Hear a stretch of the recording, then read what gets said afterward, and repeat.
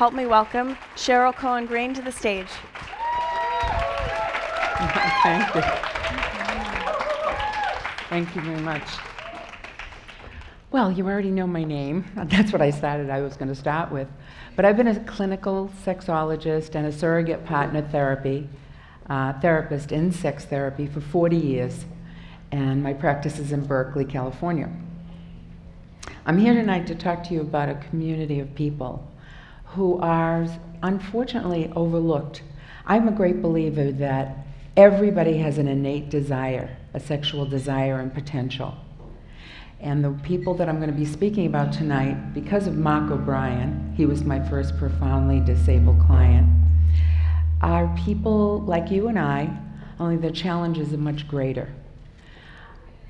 When I first met Mark O'Brien, it was in 1986. But before I get to Mark, I want to give you an idea of the population of people that I work with. There are many clients um, who have acquired or had a disability from birth, a congenital disability. There are people with multiple sclerosis, well, that's an acquired, but genetically it's probably a predisposition for it. Muscular dystrophy, cerebral palsy, spinal bifida, Asperger's syndrome, and people who are mentally, uh, intellectually challenged. And these are some of the clients that I've worked with, over 100 in the last 40 years. Mark was the first profoundly disabled client, meaning that he had been paralyzed, but he didn't have a spinal cord injury. The polio had just weakened all his muscles so that he, had, he, he could not move except for one finger, and he could use his lips. And he would use his lips and his teeth to type on a word processor. He had a stick that they fashioned for his mouth and a little rubber tip on the end of it that he used to type out each individual letter. When his therapist contacted me and said that there was a man that she would like me to consider working with, she said he was 36 years old, he was a virgin, and that he wanted to explore whatever he was capable of uh, sexually. And she told me that he was in an iron lung. My first thought was, how am I going to get in? You know, what am I going to do? But I was blown away by the idea of him typing and writing poetry, and he was working on the book that was published after his death called How I Became a Human Being. It's an amazing book. So I, my first interaction with Mark was a phone call. He called me and told me that he felt like he was on the outside of a restaurant in front of a large window, looking through that window and seeing a whole group of people having a feast that he would never get to taste. And I said to him, You deserve a seat at that table. So we met. And believe me, if you've seen the movie, uh, Mark was much more fragile than John Hawkes. But he weighed 60 pounds and he was four foot seven. He had very delicate arms and hands. And he taught me how to handle his body. And the intention of each time I was with him was to help him learn, and for me too, where I could touch him, where we had responses that were both pleasurable and sexual. And I do that with all my clients, whether they're disabled or not. It's all about communication, relaxation, teaching clients how to pay attention to themselves, not be selfish, be interested in what your partner feels, but how do you communicate with each other? And a lot of us don't get any of that. I mean, we're our parents telling us about this. Forget it. You know, they have a hard enough time dealing with. I don't know. I, I know my parents didn't. My mother never explained anything to me. It was all hit or miss. Um, so with Mark, he had also gone to. He had not had a chance to go to Catholic school, but he was from a Catholic family, and so am I. Um, so when we met, we, he came from Dorchester, which is a part of Boston. Yay for Dorchester. I'm actually from Salem, Massachusetts, and you'd think that I wouldn't have this accent, right? I've been here 45 years. But I go back every year to practice. but when I met Mark, I was scared. I mean, I walked in, I saw this very fragile man, and the intent, my intention was to help him. My intention with every client, whether they're able bodied or not, is to go out into the world with a new awareness of how to communicate and how to meet somebody in the future and have a more rich and, and delicious relationship. And that's the way I felt about him. Although I have to admit, there was a part of me that was very frightened. Okay, I'm going to be doing all these things with him. What if he never gets the opportunity? And he was in the iron lung, but in the early years, when I first met him, he was able to get around Berkeley on a little gurney. And he could move his, the, the, the motor with his one little finger that moved. And if you've ever seen the um, documentary about his life called Breathing Lessons. If you haven't seen it, it's amazing. It won the Academy Award in 1997 for Best Short Film. Uh, you get a real sense of how amazing Mark was. So we learned what felt good, what didn't. I explored his, his whole body as much as I could. He could not move, so I was very careful to move him to get every part underneath his butt, every part of him. Um, we explored everything. We explored snuggling, kissing. He said to me, You know, you're the first person who I, who's ever touched me for anything but just maintenance, for just pleasure. He had been, you know, kept clean and, and washed and, oh, taken out of the iron lung, put on his gurney. But his attendants weren't there to massage and do all the things that um, I wound up doing with him especially not to have intercourse with him. Um, it was a challenge because of his body, but we did it. And um, in the movie, I actually had an orgasm, and I did. It wasn't faked. Um, and I remember in the movie, I remember sitting there saying, mm, I didn't, I said I loved him. And he said he loved me first, and I said I loved him. But I also said to him, which wasn't filmed, I love you in this very moment for what we just shared with each other. And when you have your future relationship, it's going to be so much more fulfilling. Your partner. So get a futon. He did do that finally. So your partner can stay here with you and wake up with you in the morning and share the morning and breakfast. So we had six sessions. And in those six sessions, we did accomplish a lot of what he wanted, pretty much everything. Eight years after our time together, he did meet Susan Fernbach, and I can mention her name because she's in the movie. And they had the last five, spent the last five years of his life with him, together. Um, he died in 1999 in July, just shy of his 50th birthday. But he taught me a huge amount. He taught me how to deal with my next profoundly disabled client. Before I tell you about him, I want to tell you that many people say to me, Cheryl, how can you work with the disabled the way you do? And I said, Well, you know, let me think about it. And it didn't take me more than a couple of seconds, and I thought, It was my mother. My mother was my teacher. My mother and I always didn't have a great relationship. Um, and that changed before she died, thank God. My mother and I found each other. But when I started doing surrogate work, she had a fantasy that I was carrying on and something. Get out of the house, she told my brother. She's going to be arrested pretty soon. Um, that was a long time ago. In the 70s, she was saying that to my brother run away, get away from her. But in later life, she said, I love you and I'm proud of you. My mother was the person who I watched all the time. I think all kids watch their parents, right? I mean, parents are their role model. You can either be a great role model, like Evelyn's family, or you can have some issues going on, like in my family and so many others. But my mother always had compassion for people, whether they were able bodied or not. And I remember when I was just a little girl, we had a friend, um, my mother was walking me to the Salem bus terminal. And there was this little boy, he was eight years old, I was 10, so it was 1954. And he was standing there, he was about this tall, he was eight.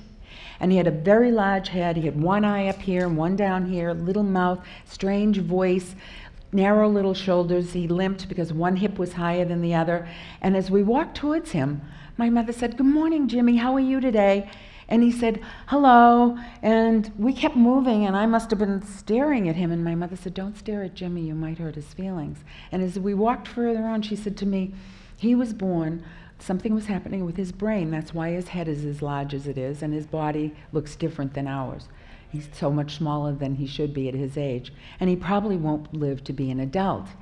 And I remember feeling really sad, but also very curious, like kids are curious what's going on? So I would go to the bus terminal often after school, and I'd see him there. My mom wasn't always with me. And I'd always say good morning to him. Morning, Jim. And I'd walk into the bus terminal and he'd respond back, Hi, hello. And then one time I went to the bus terminal, he wasn't there. And the next time I went, he wasn't there. And I told my mother, and she said, I'm going to look into that. And she told me she had found out that Jimmy died. And every time that I went to that bus terminal after, I looked in that spot where he used to stand, and he wasn't there. And just seemed so unfair. But I love those bus drivers because he had a uniform that they had especially made for him with a little hat, just like theirs with the badge and all. And I remember thinking, what wonderful guys these are. I always liked bus drivers after that. The next person that I, I, I found, my mother, when I was 11, a neighbor, some, some people moving into our neighborhood, they had eight children, and their oldest name was, was Carol. And Carol had, um, she was mentally challenged.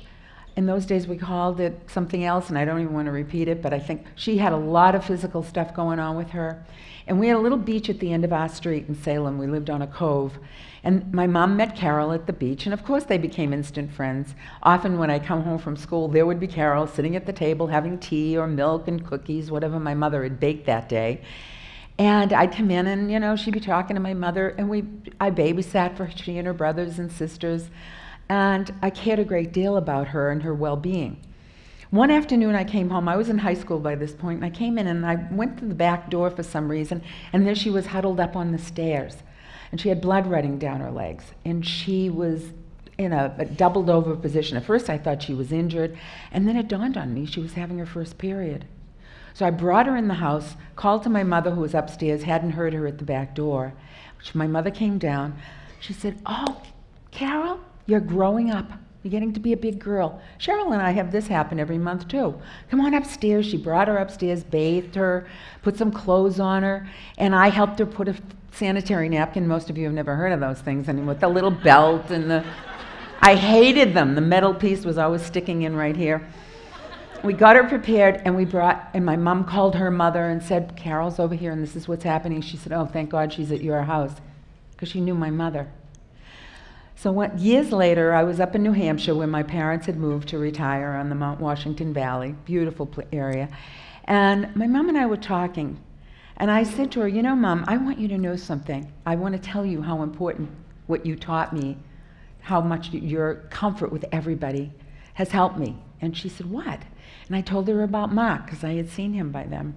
And she said to me, Would you please tell your father that? Because he thinks you ran off to California because of me. I said, yeah, well, I didn't say it. Yeah, I did, but you know, now we have a chance to really get to know each other because I've had all these miles between us.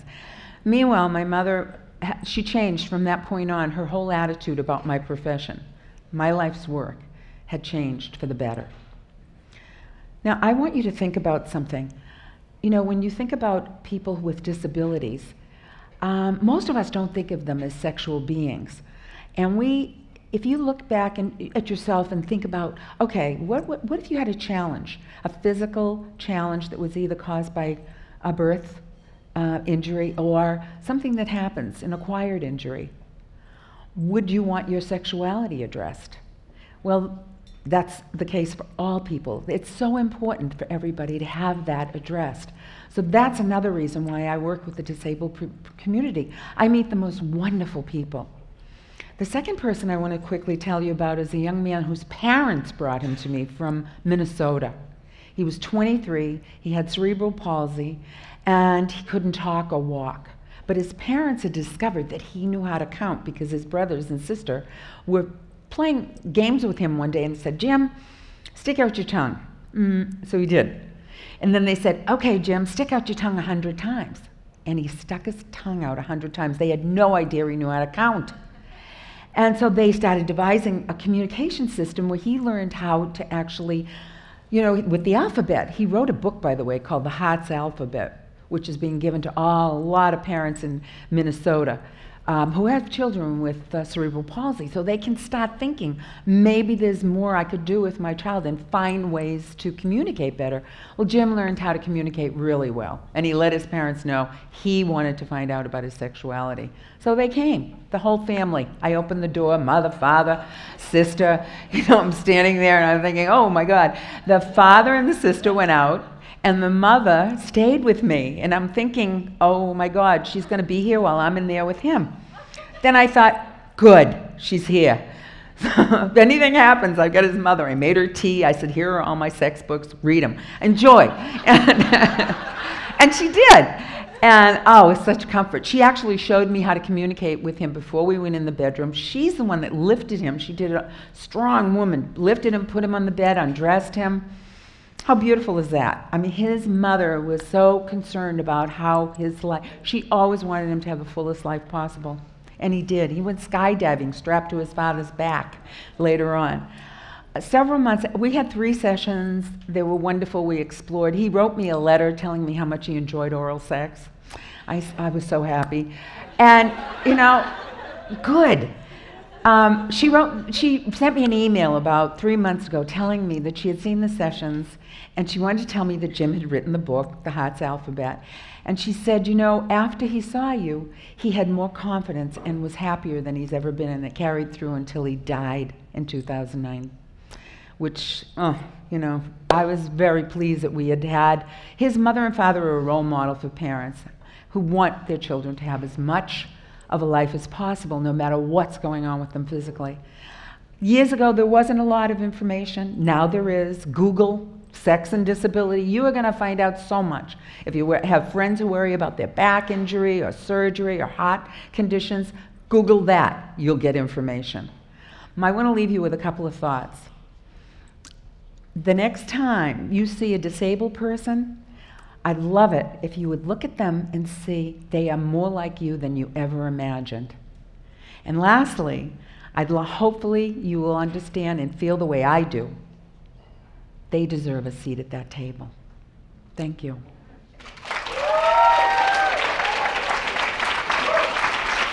Thank you.